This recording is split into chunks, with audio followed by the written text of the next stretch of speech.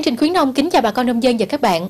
Thưa bà con nông dân và các bạn, trổ chính là giai đoạn cây lúa cần được quan tâm chăm sóc đặc biệt để hạn chế sâu bệnh hại, gây thất thu năng suất. Mở đầu chương trình, cán bộ kỹ thuật của tập đoàn Lộc Trời có cuộc trao đổi với nông dân ở huyện Tháp 10, tỉnh Đồng Tháp. Mời bà con và các bạn cùng theo dõi.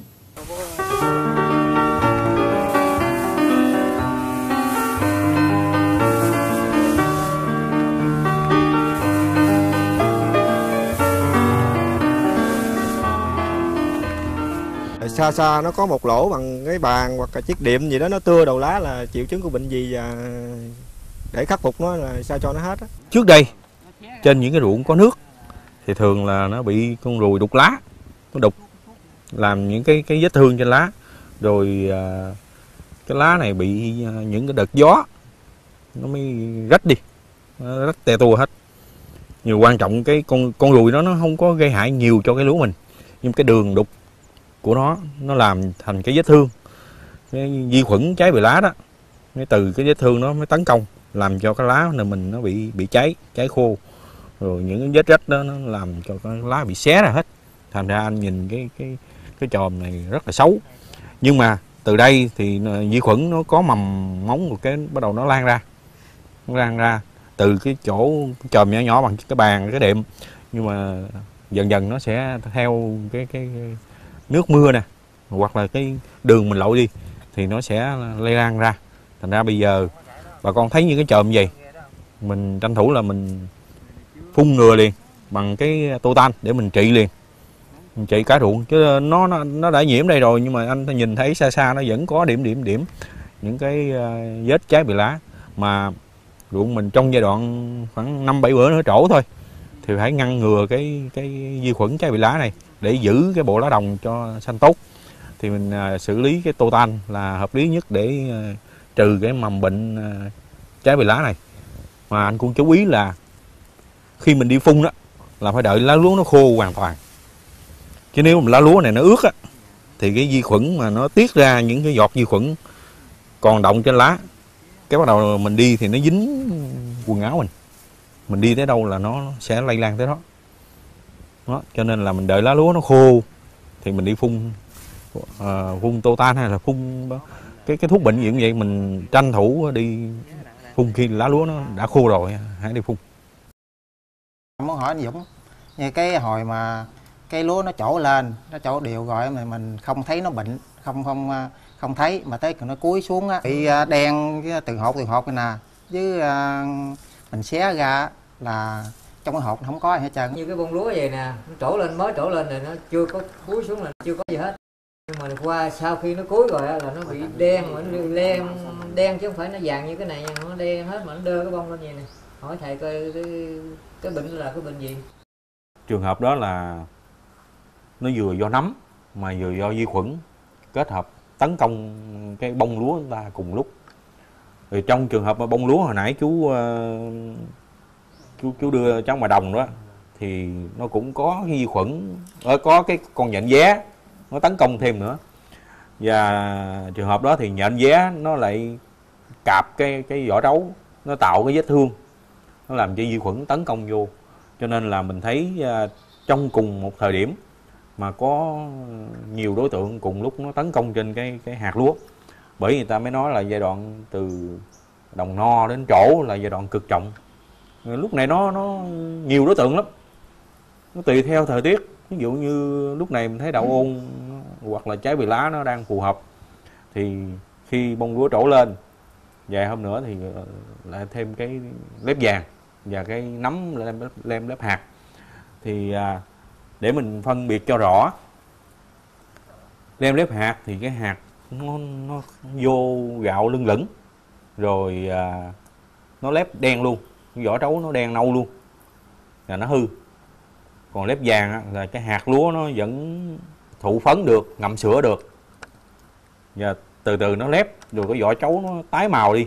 Nó ngã màu vàng vàng tươi. Và cái bông lúa nó đứng sững. Thì đấy là lép vàng do vi khuẩn. Thì bà con có thể ờ, sử dụng cái tô tan, rồi mình kết hợp thêm với cái amitatop amitatop thì nó trừ bốn cái bệnh quan trọng trong lúc này, đó là những cái à, lem đép hạt rồi à, đậu ôn cổ bông nhánh giá và đốm vàng vàng lá nha chẳng hạn. Thì như vậy thì mình vừa diệt được cái vi khuẩn đang bám trên cái bộ lá đồng.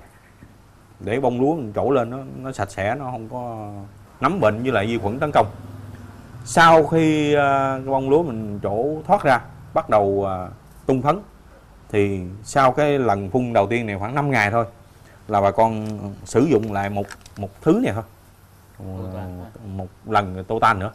Tức là sau lần phun trước chỗ đó 5 ngày thì mình sử dụng lại tô tan bởi lúc này là cái lúc nó hả vỏ trấu ra để nó thụ phấn. Mà thường là nó thụ phấn xong lại gặp cái uh, tiết trời mưa. Rồi nhiễm vi khuẩn vô trong cái cái bầu nõn. Rồi cái cái hạt nó nó ngậm sữa thì cái vi khuẩn nó tấn công ngay cái cuốn cuốn hạt làm cho cái hạt sau này nó bị lép vàng. Bởi mình thấy là lúc trổ ra nó không có bệnh hoạn gì. Chỗ đều thì chưa có bệnh hoạn gì. Bắt đầu cúi xuống thì cái cái cái sữa của hạt lúa đó bắt đầu nó mới hư với cái cuốn. Nó làm cho hạt lúa bị bị hư đi bị lép đi. Mình tách vỏ rấu ra mình thấy cái cái phần uh, hạt gạo trong đó nó nó có hai màu. Cái đầu cuốn thì màu nâu cái phần cuối nó màu xanh bóp ra nó vẫn có sữa. Nhưng mà cái hàng này nó sẽ lép và cái bông nó, nó dựng đứng người ta gọi là bắn máy bay. Thì như vậy là mình sử dụng à, uh, totan uh, à, amitatop lúc chỗ lác đác như vậy 5 ngày sau mình sử dụng lại cái à, uh, totan để mình làm sạch cái vi khuẩn trên trên bông lúa để hạn chế tối đa cái uh, vi khuẩn gây bệnh lép vàng lúc nào cũng có bệnh đau hết. Nhưng mà đến về sau này á là nó xảy ra vấn đề cái lá nó nó tua lá tua đầu chót á cháy lá tua đầu chót. Như vậy à, tôi muốn hỏi à, kỹ sư là cái à, khắc phục cái bệnh này nó như thế nào cho nó đạt năng suất cao nhất? Bà con thấy cái mã lúa mà anh anh, anh trạng cầm đưa đây đó. Thì à, nó rất là cao dài chứng tỏ là nó hơi thừa phân đạm. À, mà mình đo được á, thì nó tới 90 lần trong khi 60 ngày mà nó cho nó 90 phân thì à, nó tăng trưởng chiều cao nó vượt mức. Nếu mà ừ, 60 ngày thì nó khoảng 78 75 78 thôi là nó nó, nó rất là vừa. Thằng này nó hơi cao nó, nó dư phân đạm. Bà con thấy cái lá cờ nó dài quá đi thì nó dư phân đạm vậy nó kết hợp với cái thời tiết à, hiện nay. Nóng rồi ẩm mà mưa đêm thì cái à, độ ẩm cao đó nó nó gây cái à, nó gặp cái cái à, dư phân đạm thì nó gây đậu ung do đó là bà con chú trọng nhất là trong cái thời điểm lúa trổ trở đi thì chúng ta phải ngăn ngừa cái đau ung của bông.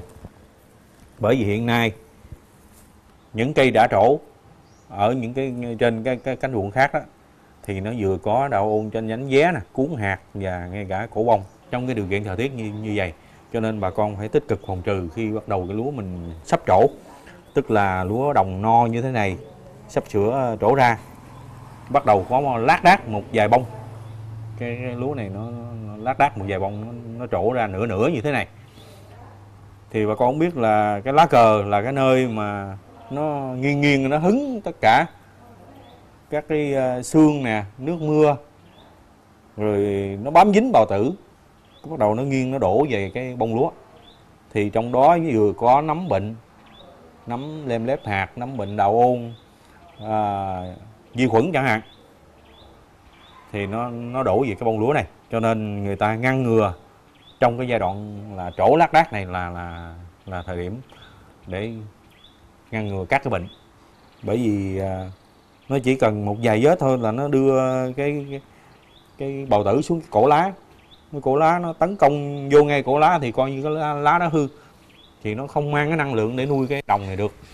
Do vậy à, trước giai đoạn chỗ chúng ta sử dụng cái à, philia kết hợp với cái à, totan để à, một cặp này mình phun vừa bệnh đầu ung và vừa cái vi khuẩn để mình ngăn ngừa sạch hai cái cái đối tượng này trước khi cây lúa người ta trổ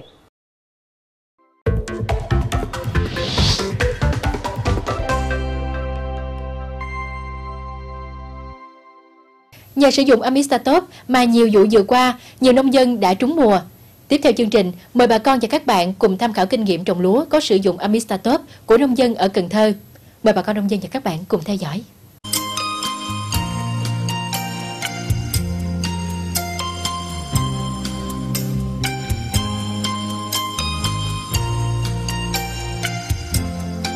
thưa bà con nông dân à, tôi tên võ văn to hiện ở huyện cờ đỏ thành phố cần thơ à, những năm trước đây à, làm lúa gặp nhiều khó khăn à, sâu hại nhiều nên năng suất rất thấp à, kinh tế gia đình cũng không ổn định À, khi Amita Top à, ra đời, tôi à, sử dụng qua nhiều năm thấy mang lại hiệu quả rất cao. Cho nên từ khi Amita Top ra đời, tôi sử dụng cho đến ngày hôm nay.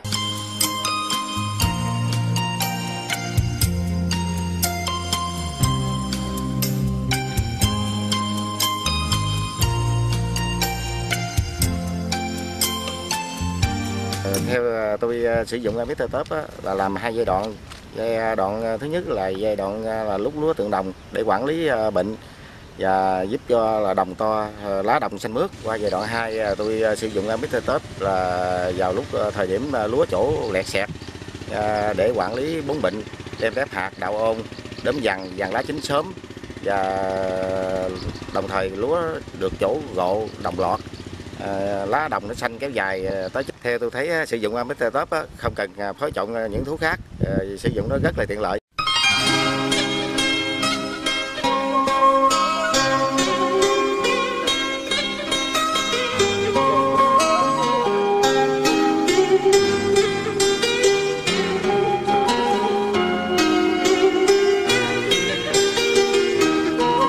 Với tôi thì à, Amit Top à, không chỉ là một giải pháp à, quản lý bệnh mà nó là cùng bạn đồng hành với tôi từ bấy lâu nay. Ờ, giúp tôi ờ, tăng năng suất lúa phát triển kinh tế gia đình. Ờ, tôi cũng mừng nuôi con cháu ăn học tới nơi tới chốn. Gia đình cũng được nhiều hạnh phúc. Vì vậy tôi cũng chia sẻ với bà con nông dân trong ấp của tôi sử dụng Amit Top để tăng năng suất phát triển kinh tế giống gia đình của tôi vậy đó.